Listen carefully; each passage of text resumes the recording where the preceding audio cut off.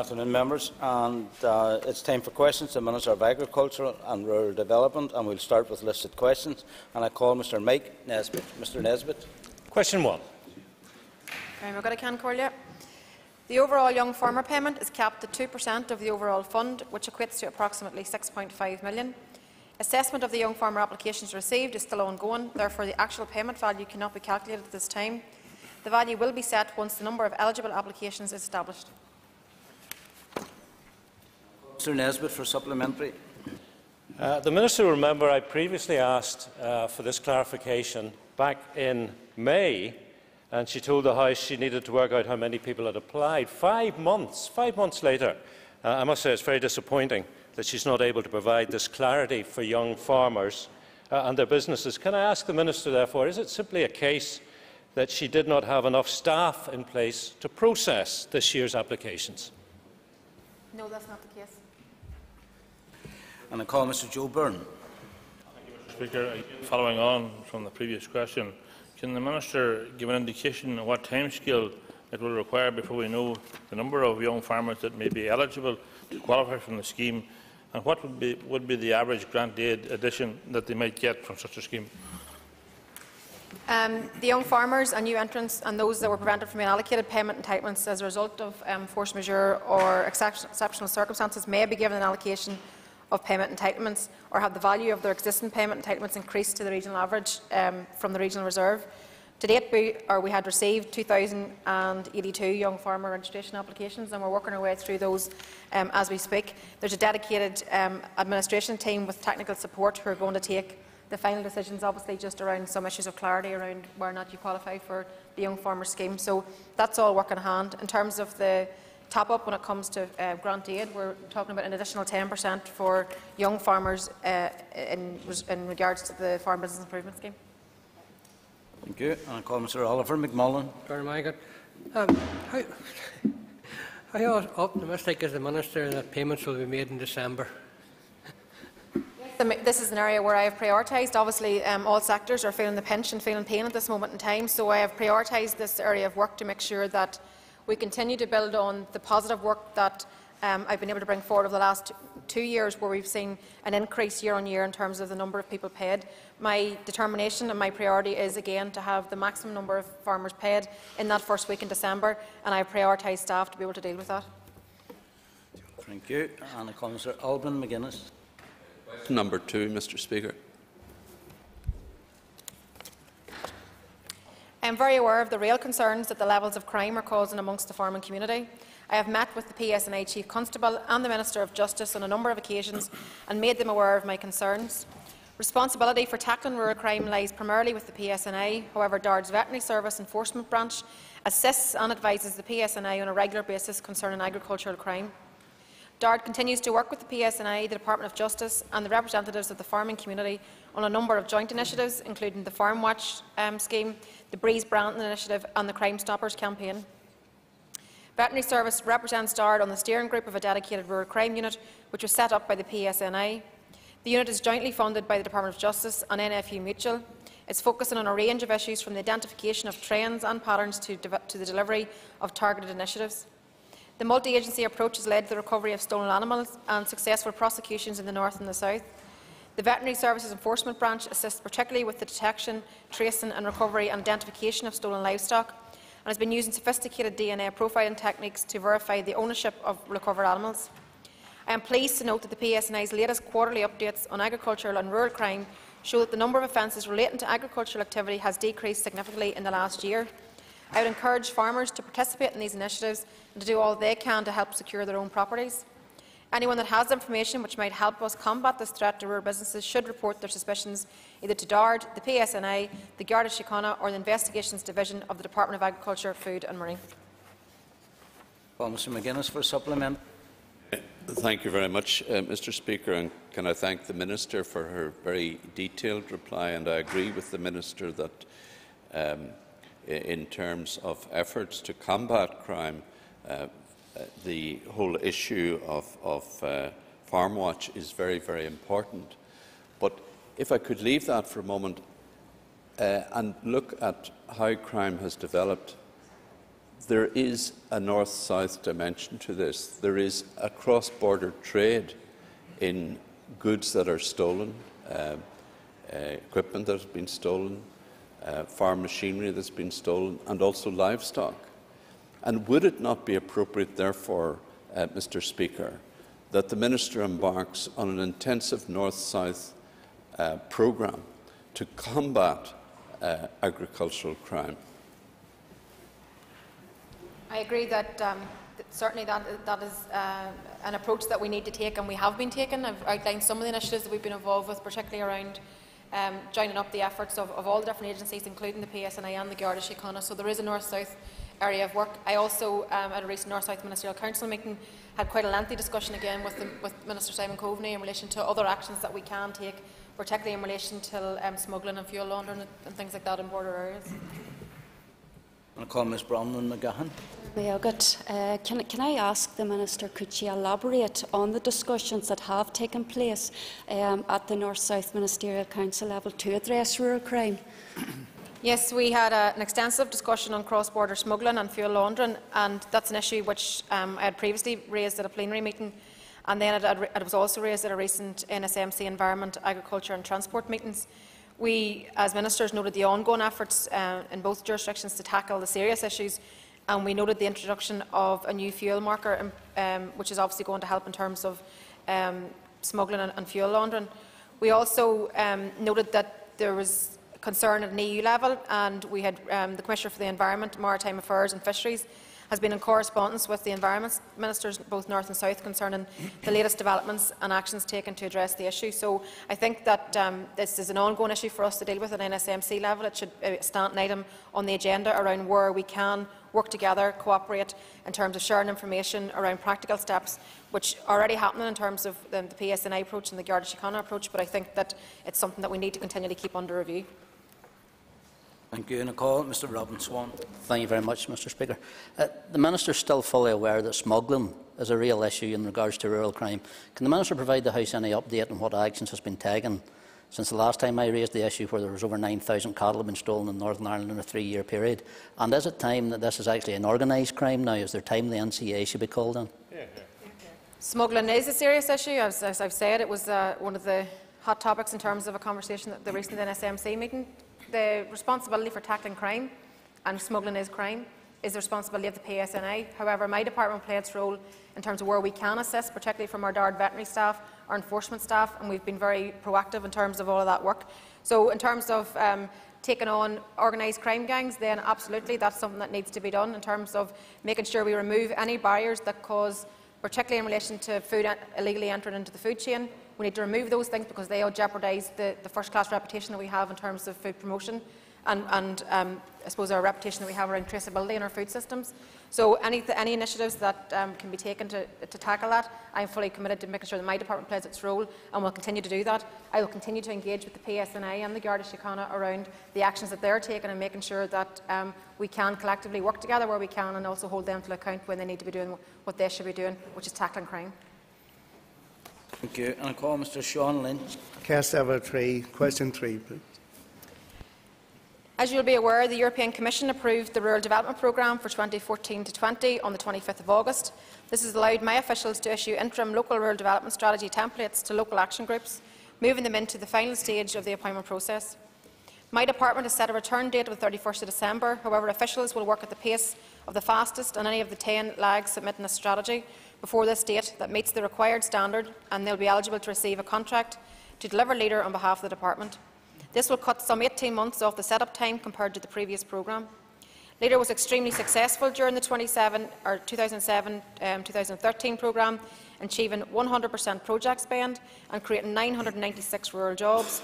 This is why the job creation this is why job creation is a key objective of the economic theme of the leader element of the programme going forward, with an overall job creation target of 700 jobs. Leader has made a difference on the ground and I have every expectation that it will continue to do so in the time ahead as we open up the new scheme. Lynch for supplementary. Ceann Comhairle an gom gcuchas leis an and Fregrishin. I want to thank the Minister for her answer. And I held a very successful small business seminar uh, in the county recently, and there was much interest in, in it. Can I ask the Minister which schemes will open first? Gurmarket. Yes, the, the Rural Business Investment Scheme should be the first scheme to open in each area following a period of lags um, working with potential applicants on the ground, and that's called animation. This time around, more work is being done at the pre-application stage to increase the number of successful applications that come forward. Access to basic services, village renewal and broadband then will open shortly after that. I call Mr Dolores Kelly. Um, thank you, uh, Min uh, Mr Speaker. Um, Minister, the Rural Development Programme has been a very successful programme. Uh, could you perhaps outline, in terms of the socio-economic benefits and ensuring that uh, not only our businesses helped, but that the community and that sort of social infrastructure that, for example, in assisting with childcare uh, might be a, a feature of it, and you may be able to tell us a wee bit more around uh, some of the aspirations of the programme that's coming in. Obviously, the programme is to help create sustainable, thriving rural communities. That's taken in all, all the issues, looking at um, what are the challenges. I think, certainly from, from my experience of being out and about and visiting projects that have benefited through all the different measures over the last number of years, you can very clearly see the, the community benefits right across, you know, whether it be in basic services in a rural village for a community hall or um, helping a local business that's able to create jobs. And as I said, like the, the current programme has created about a thousand jobs, and we want to see obviously a lot more of that in the time ahead. So childcare, broadband, all the, all the different um, challenges there are for rural communities, i am quite sure that whenever it comes to we, we set the parameters around the, the, six broad themes for, for each area, but it'll be individual lags that will decide the priorities within, their each, within each area. But um, there's no doubt about it, the benefit of this programme is second to none. One of the beauties of it is that it's community asking for help to do something, to fund something that they identify as a need, as opposed to a department telling a community that this is what you need. So um, I look forward to the, getting the scheme opened. We obviously have received our European um, Commission sign-off in the summer, which was obviously fantastic, and it allows us to um, support um, rural communities, farmers, farm businesses, rural businesses, um, the environment, and um, obviously the community and voluntary sector within all of that. So um, I look forward to getting the scheme opened as quickly as possible. Thank you. And I call Mr Barry McElduff. Uh, question number four. My department undertook a public consultation exercise earlier this year on my proposals to enhance the rural proofing process by placing it on the statutory footing. The responses received indicated broad support for the proposals.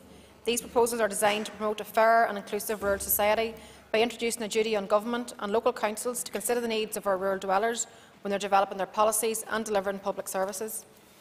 My final policy proposals for a rural proofing bill were agreed by the Executive on the 7th of July, and since then my officials have been working with the Office of the Legislative Counsel to produce a draft bill which will give effect to these proposals. I am hoping to bring the draft bill to the Executive as soon as possible for introduction to the, um, prior to the introduction of the bill to the Assembly. I'll be working hard to ensure that this new legislation can be introduced in this Assembly and complete its passage within the current Assembly mandate. And I call Mr McElduff for a supplement.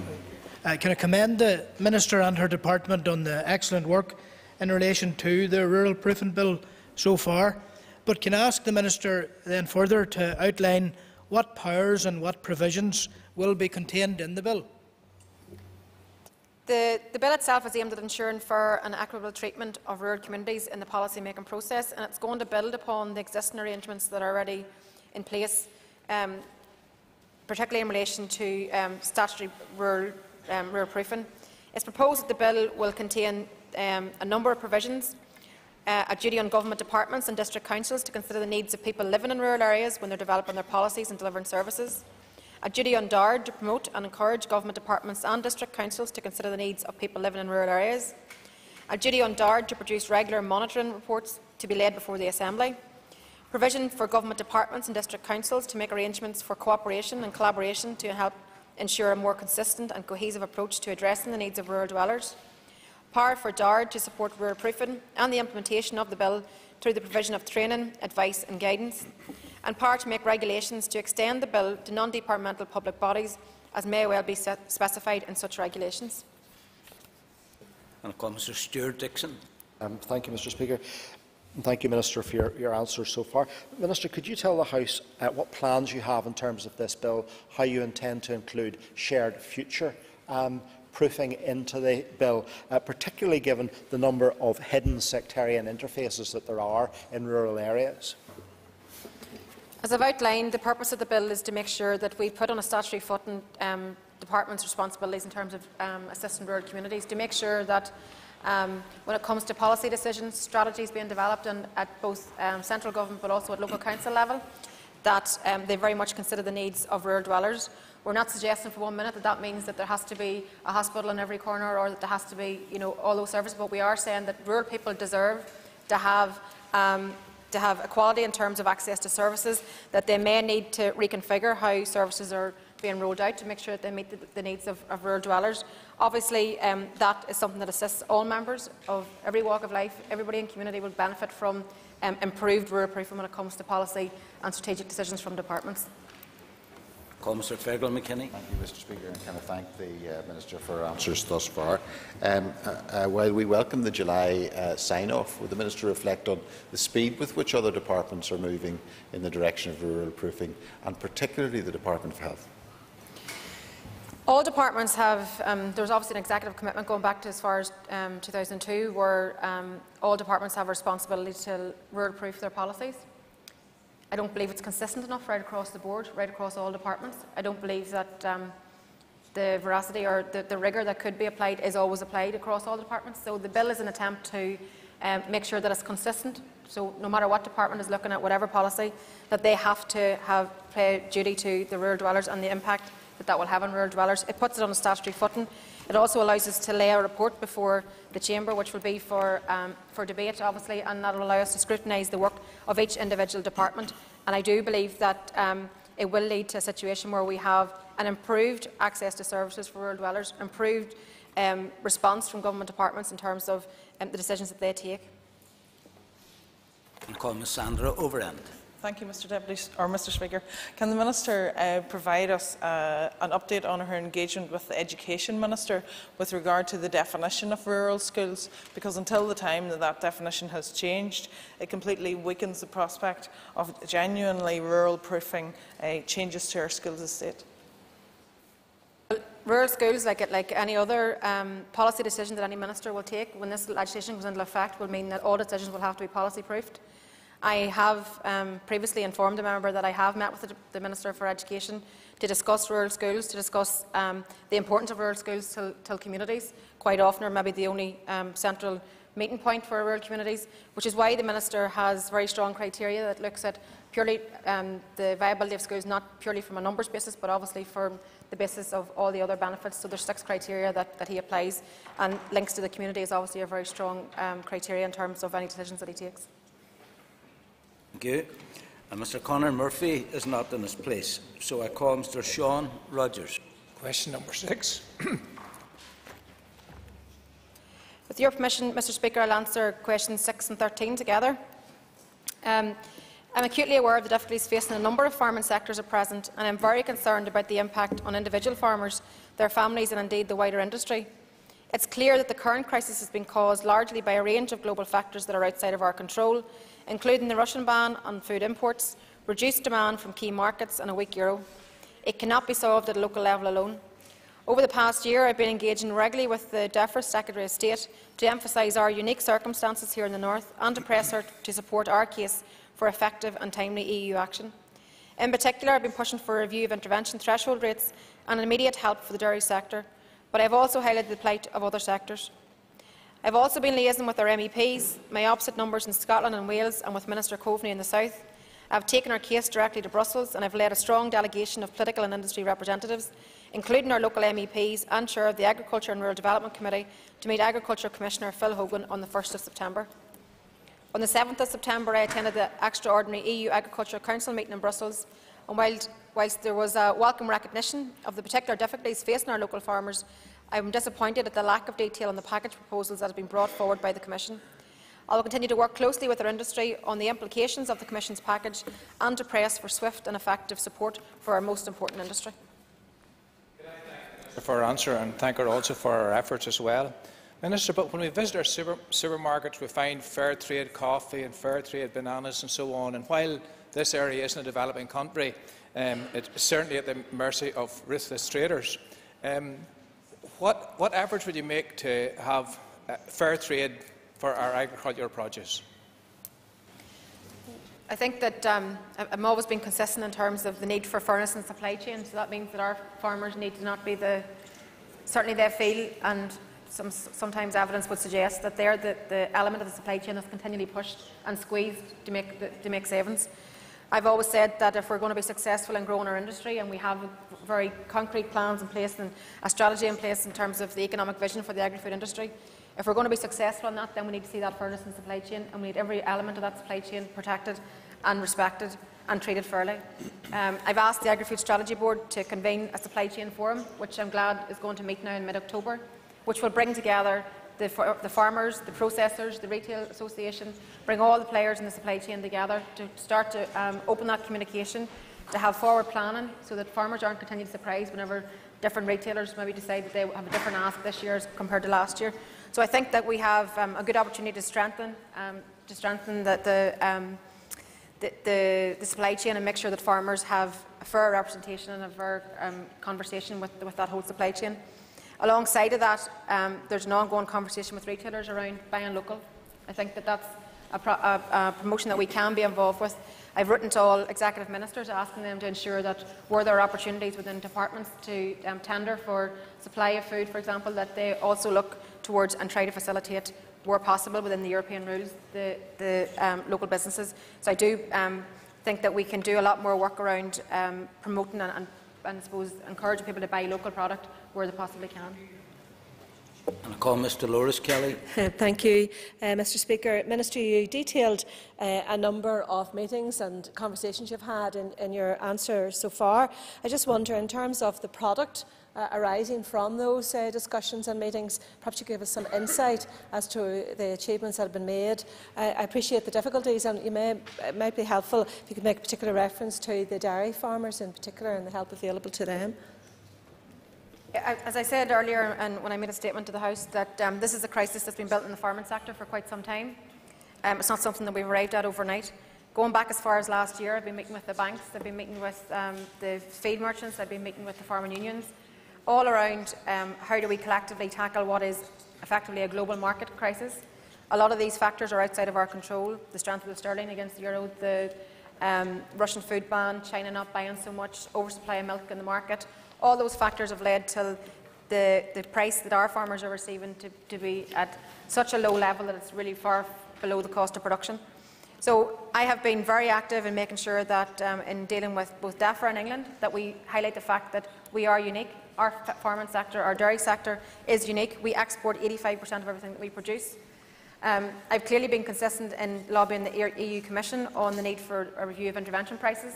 Unfortunately, what the Commission put on the table on the 7th of September meeting fell far short of what we wanted to see. They have now announced that there's going to be a £500 million, £500 euro um, package for farmers, but when you distribute that against uh, out into 28 member states, it's not going to equate to a very large portion of funding. I think it's the wrong approach from the European Commission. I believe the Commission could have took a decision to review the intervention prices, which would have helped the market to recover itself, because the stick and plaster that they've now put on the, on the issue is going to mean that we'll be back having this conversation around the dairy sector in, in, over the future and years to come. It happened in 2008, 2009. It's happened again now, and it will happen again. So without the Commission taking that action, um, I, I feel that the proposals they put on the table fall short, although every little bit helps, particularly for in terms of trying to get some cash flow into the sector, but um, it fell short of what we expected to see.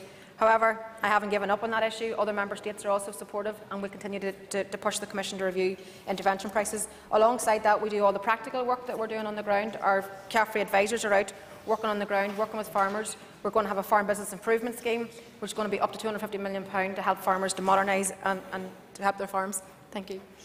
That was a very important question which needed a detailed answer. But I'll remind the Minister of the two-minute rule. Ms Joanne Dobson. Thank you, Mr Speaker. And the Minister has just touched on my point, which was with regard to the €500 million Euro package, which does appear attractive at face value, but once, as you say, it's divided across the 28 member states, it certainly declines quickly.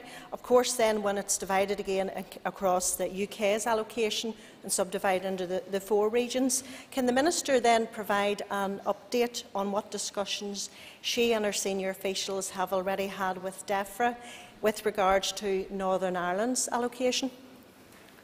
I have um, con consistently raised the issue with the DEFRA Minister around why we're, di we're different, why we're different, particularly when you compare us to Scotland and to Wales and even to England.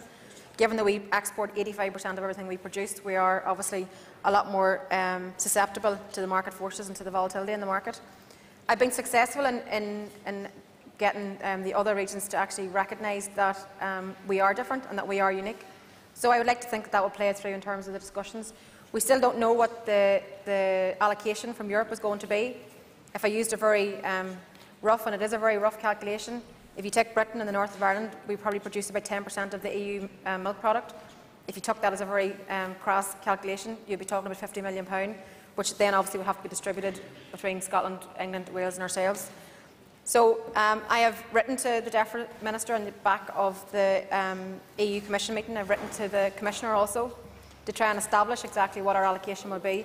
But I will not be found wanting in making our case. I do believe we're different. I do believe that we should um, receive an allocation which is proportionate to the fact that um, we export so much product. So I will certainly be making that case. As I said, I've written to both the Commissioner and to DEFRA, and I will be having that discussion again with Liz Truss, the DEFRA Minister, in the weeks ahead. Thank you. And I call Mr Sam Gardiner. Mr Speaker, question seven.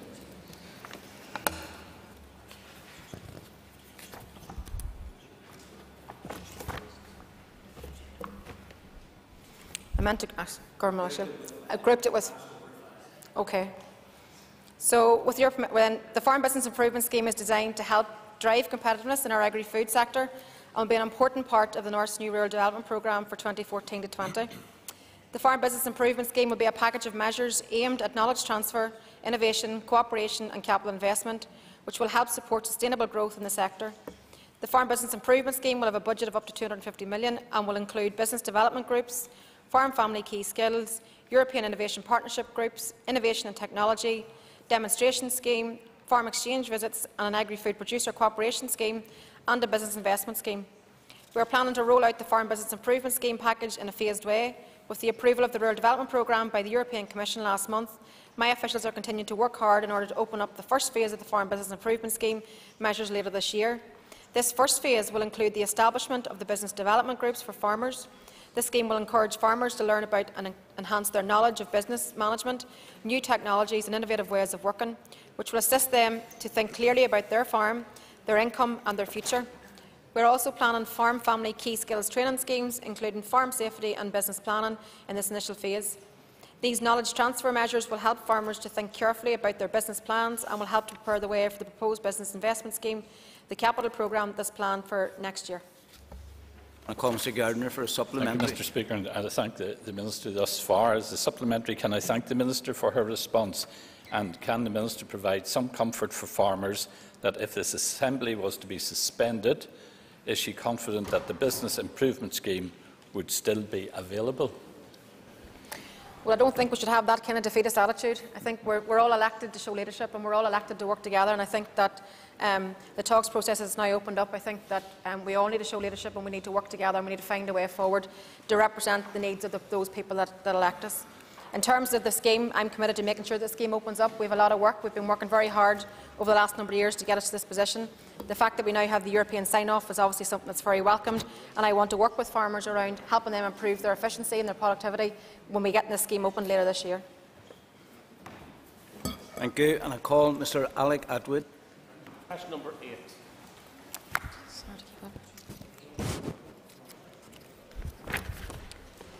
Surveillance and testing for ash dieback has been undertaken since the first confirmed findings of the disease in recently planted ash trees here in November 2012.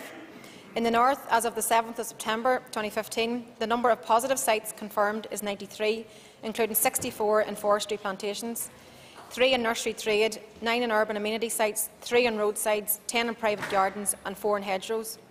Current scientific understanding suggests that the conditions for spread in the wider environment exist on the island of Ireland. To date, there is no evidence of spread to mature ash trees locally, which is something that will obviously be welcome. Attwood for a supplementary. I appreciate that, Mr Speaker. Um, given the pressure on indigenous wood production and supply and the scale of exports coming into the country, and the fact that all the estimates are that very quickly we will become more and more dependent upon imports of hardwood. Can the Minister outline given the nature of this disease, what is the strategy to replant in order to reduce the dependency upon imports of hardwood? There will be a forestry scheme that comes forward under the new Rural Development Programme, which will allow us to be able to bring forward a, a grant scheme that will help farmers to, to plant trees and hopefully um, working with Forestry Service that will be trees that are less susceptible to disease. It Brings us to the end of the period allocated for, uh, for listed questions. Uh, members listed for topical questions uh, 2, 3, 7, 8 and 10 have withdrawn their names. And I call Mr Colum Eastwood. Thank you, Mr Speaker. Can I thank the Minister for her answers uh, thus far? Can I ask her, though, given the current political circumstances, is she still confident of getting the, the decentralisation of the DARD headquarters to Ballykelly as soon as possible? Yes, I'm fully committed to, to, that project. We've done a lot of work over the last number of years in terms of development outline cases and doing all the groundwork.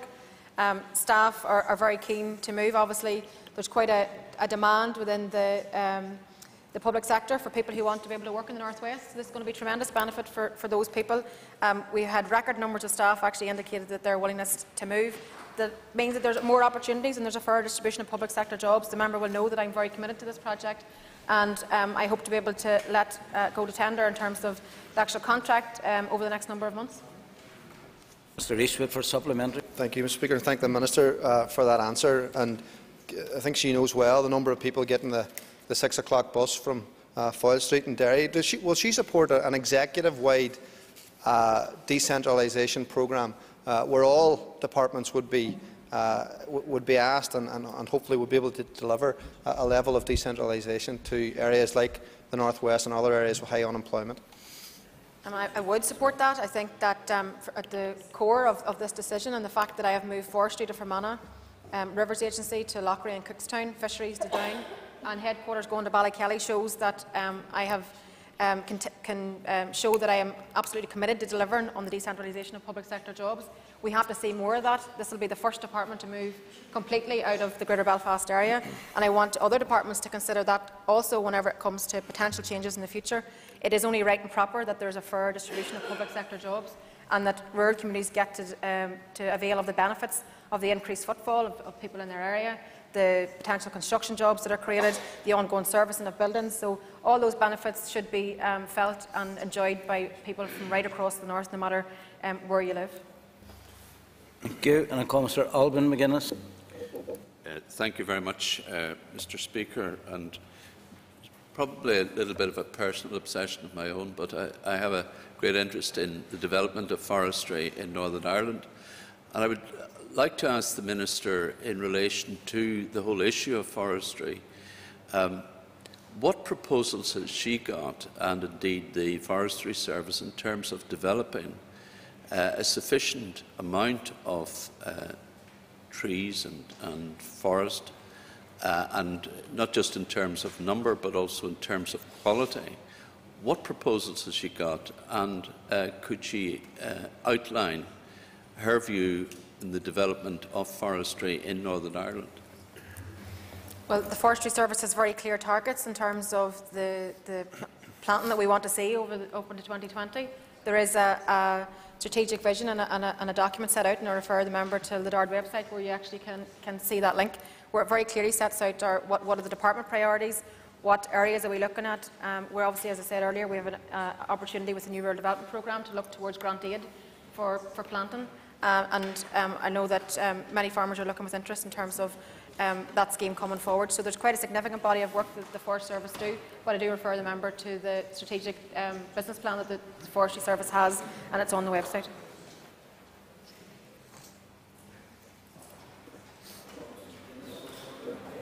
Uh, thank you, uh, Mr Speaker. And I hear what the Minister says, and uh, obviously there, there, there is a business plan there. But given the fact that we are uh, developing, uh, that our economy is developing, uh, given the fact that the construction industry is uh, developing uh, and growing, perhaps not the same at the, the, pace that we would like, but nonetheless growing, does she, does the minister believe that in fact there is sufficient timber production that will meet and serve the needs of the economy here in Northern Ireland? Been raised with me in terms of um, any concerns. Um, my Forest Service work closely with the, the, industry, they work closely with the mills, they work closely with all their stakeholders in terms of um, developing strategy and looking towards the future. So that is not an issue that, that seems to be being highlighted in terms of as, as a concern. However, I think any plans moving forward, you have to be able to adapt to changing circumstances. You have your strategy in place, you have your vision, you have your targets, but you have to be able to be adaptable, obviously, to the local economy and, and to those needs. Um, if the member has any particular concerns which he wants to write to me about outside of this, then I'm very happy to, to receive those. Thank you. And I call Mr Chris Lyttle. Thank you, Mr Speaker. Can I ask the Minister for Agriculture whether she supports a ban on hunting with dogs? Well, our position has been very clear that um, we continue to oppose blood sports, that, um, and that means that includes uh, dog fighting, badger baiting, cock cockfighting, bullfighting, However, uh, my party position would be that in terms of acknowledging the support in, the rural, in rural Ireland for um, initiatives such as hare coursing, we believe that hare coursing practices should be regulated to ensure sustainable, um, to ensure sustainable wildlife management and to minimise any sort of unnecessary suffering. So absolutely opposed to blood sports and that maintains uh, is my position. Mr Lyttle for supplementary thank the Minister for her response, but would she not agree uh, that the hunting uh, with dogs is indeed a cruel, inhumane and ineffective uh, approach to wildlife management and to animal welfare, and will she bring forward uh, legislation to be debated in this Assembly on that issue?